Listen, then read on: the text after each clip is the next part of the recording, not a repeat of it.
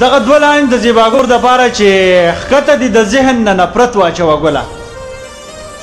خکته دي د ذهن نه نفرت واچوه ګله لږ دي په دې زړه کې محبت واچوه ګله او موږ په خپکیږو نه یار موږ په خوشحاليږو موږ په خپکیږو نه یار موږ په خوشحاليږو الله دي په ښايست کي برکت واچوه ګله او دا سړی عادت ته دته واچوي چې وسکي دا سړی عادت ته دته واچوي چې وسکي منګ ته خو ساده دغه شربت واچوه ګله او خپل به په خپل دي دا ټول دنیا راشي خپل به په خپل دي دا ټول دنیا راشي ته دې په دې لاسو کې محنت واچوه ګله ټول پښتانه زنده باد والسلام.